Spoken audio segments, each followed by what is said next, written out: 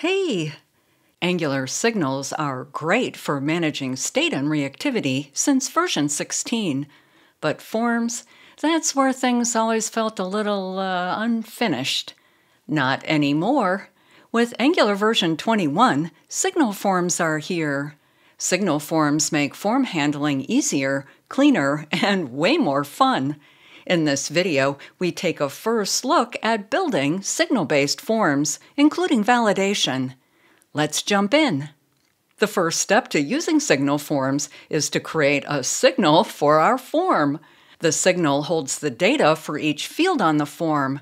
That signal becomes the sole source of truth for all form values, making the form predictable and reactive. Here's my Star Wars vehicle sales sample application. We want a form for the user to subscribe to our newsletter. What data fields does our form need? Our subscription form includes first and last name, email address, and number of years as a Star Wars fan, so our signal should include each of these fields. Going back to the code, for full type safety, we define an interface describing each field. I'll create a TypeScript file. Since we're working with subscription data, I'll name the file subscription.ts. You could append data or form data to this name for added clarity. I'll close Explorer. In this file, we create the interface detailing the fields on the form. Export Interface Subscription. We add each of our form fields, email as string, first name as string, last name as string, and years as fan is a number. Each field in this interface will be associated with a control on our form. As you create this interface, keep in mind that each field's data type must be compatible with the HTML control that will display it. So fields displayed in a text box have a string data type. The years as a fan uses a number type text box, so it's numeric. Also, we can't define fields in the interface as optional. And in this example, we can't define a type as null because a native input element doesn't directly support null. Our subscription form fields are basically flat, but they don't have to be. We could have a nested structure, like this. And we can include an array, like this. If there's interest, I can cover examples of more complex signal structures in later videos. I'll undo this and stick with our flat structure. This interface details the data structure for our form's signal. Now we're ready to declare that signal. We'll do that in the component. I've already created the component for this subscribe form, but it doesn't yet have any code. Declare a variable for the form's signal. I'll name it subscribe model equals signal. We use our interface to define its type. A signal must always have an initial value. The subscription interface defines an object, so we need an object with an initial value for each field. We could define that here. First name is initially empty, last name is initially empty, and so on. But for good separation, let's instead define our initial values in the same file that we defined the interface, subscription.ts. Declare and export a constant. I'll name it initial data and set its type to subscription. Define a subscription object and set the string fields to an empty string, email, first name, and last name. We set our numeric field to NAN, or not a number. By using NAN instead of 0 as our default, we can tell if the user entered 0 as their response. Note that Angular excludes any field with an initial value of undefined when creating the form. OK, we'll use this constant when initializing or resetting the form to its initial values. Going back to the component, set the initial signal value to our constant, initial data. Think of this signal as the form data model. It holds the structure and initial data for the form. To see when the signal value changes, let's add an effect. EFF equals effect. In the arrow function, console.log the email field using this dot subscribe model. Since subscribe model is a signal, use parentheses to read the value of the signal, then dot email. This logs the email field value every time the subscribe model signal changes. Now that we have the form signal, we're ready to declare the form. I'll name it subscribe form. Call the form function and pass in the form signal. This creates a form wrapped around that form signal. Forms don't maintain their own data. Rather, they use the passed in signal. If the signal changes, the form automatically reflects those changes. And when the user interacts with the form controls, the signal updates automatically. Cool! Hovering over Subscribe Form, we see that the form is represented as a field tree. Think of the field tree as an object structure that matches our form's signal.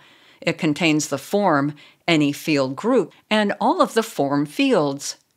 How about a picture? Here is the interface for our signal. We create a form like this. Then the field tree might look something like this. Our form is at the top. There is a node for each field, and each field is itself another field tree. Navigate the tree using dot notation, such as subform.email. As another example, if we had a signal with a field group like this address, the field tree would look like this. We access the city using subform.address.city. Let's go back to the code. We now have our form signal and a form wrapping that signal. Our subscribe form is not yet associated with the elements in our template. Each HTML form control must be associated with one field from our form. We do that with the field directive. In the component decorator, add an import for the field directive. Make note of this form name because we'll bind our HTML controls to this form's fields. Here is the subscribe-form.html file. I've already created the template. For each form control, add the field directive and bind the control to a field in the subscribe form. Let's start with the first name input element. Specify the field directive and bind it to subscribe form.firstname. Done. Scroll down and do the same with the last name field. Scrolling down further, for the email field, we have the required and min length attributes on the input element. Add the field directive and bind it to subscribeform.email. Notice that we see syntax errors. Setting the required attribute is not allowed on nodes using the field directive, so let's remove those attributes. Moving on to the years as a fan, set the field directive to subscribe form.years as fan. Notice that the min and max attributes now have a similar error. Let's delete those attributes. With that, each of our form controls are bound to an appropriate field in the subscribe form. That means that as a user types into any of these controls, the entered value is automatically assigned to the form model. Since the form model is a signal, we can react to those changes. I already have this application running, so to try it out, I'll bring up the browser. Open the console to view our logging. Display the form. Type in an email address, and we see the value of the form model signal in the console. We can react to those changes as needed. Excellent. But what about validation? Most forms require some type of validation. In our example, we've marked email as a required field. Plus, it must be a valid email address and longer than six characters. We'll also validate that the years as a fan is greater than or equal to zero and less than 100.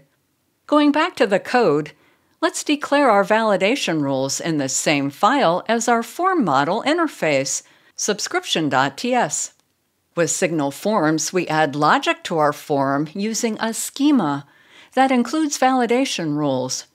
To see what I mean, declare and export a constant. I'll name it subscription schema, then call the schema function. Use the generic argument to identify the form signal interface, in our case, subscription. Then pass in a function that returns an object with our desired logic. I'll scroll down for more space. The arrow function takes in the schema root path. This is an object that represents the root location in the form's field tree. From this root, we can use dot notation to access the location of a form field. We can then bind logic to a specific part of the field tree before the creation of the form. Note that these path objects don't hold values. They are addresses for locating a field in the field tree. The schema function returns an object with a set of functions defining the logic for our fields. That logic can include validators. Angular provides several validators. Let's use the required validator for the email address. In the required function, we pass in the schema path to the email field, rootpath.email, and optionally define our validation error message. I'll paste that in. Next, we validate that the email address is a valid email, so use the email validator. Again, pass in the schema path to the email field and add a validator error message. Let's also define a min-length validator, rootpath.email. Then we specify the minimum length, let's say 6, and our validation message. For the years as a fan, we'll call the min validator we pass in the schema path, rootpath.years as a fan, and the minimum value, then define that validation error message. Lastly, we use the max validator. We pass in the path and the maximum value. I'll again paste the error message. So we declaratively bind validation rules to fields using the schema path. That way, our form knows which validation rules go with which fields and where to attach errors in the field tree. But these logic rules can be more than validation. We can define rules for disabling or hiding a control, for example. There is so much more to the signal form's validation features, including cross-field validation, custom validators, and async validation. Plus, we can add a when clause for a conditional validator, and we can use value of and state of functions to access field values or state. If these features are of interest, I'll cover these topics in later videos. With signal forms, we can have our form signal interface, initial field values, and our schema with the validation rules and logic all in one place. Or we can divide it into separate logical units or add it all to the component, whatever makes sense for our application. Sweet! Now let's add this schema to our form. In the subscribe form component, pass the schema in as the second argument to the form function. Now our field tree includes our schema logic. Before we can try this out, we need the HTML elements to display validation errors. For that, we need to check the interaction state of the field and read any error values. How do we do that? Recall that our subscribe form is represented as a field tree. Each control is a node in that tree and is also a field tree. This field tree structure matches our form signal. To access real-time information about the form or its controls, call the field tree node as a function. Calling a field tree node as a function returns a field state object for that node. The field state object provides the interaction state, validation errors, visibility, and current field values as signals. This is a signal form, so I guess that shouldn't be a surprise we use the field tree to navigate the form hierarchy and to bind our input elements. We use the field state to read the signals containing the real-time state. Let's look at a few examples. If we want all of the form field values, we call the form's field tree as a function to access the field state and read the value signal. To disable the Submit button if the form is invalid, we call the form's field tree and read the invalid signal. In the template, we bind an input element to a field in the field tree using the path to that field. Notice that there are no parentheses here. Conditionally display elements based on a field's validation state by referencing the path to the field, calling the field's field tree as a function to access the field state, and reading the invalid signal.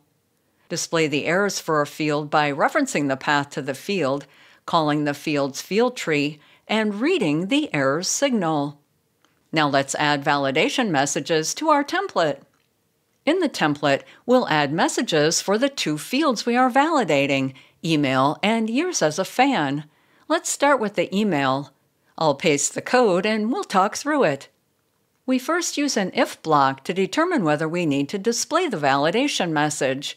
We access the subscribe form, which points to the root of the field tree. Then access the email field tree. We call this field tree as a function to get the field state. From that, we access the interaction state. The state is a signal, so we use parentheses to read that signal. Notice that we are checking invalid and touched.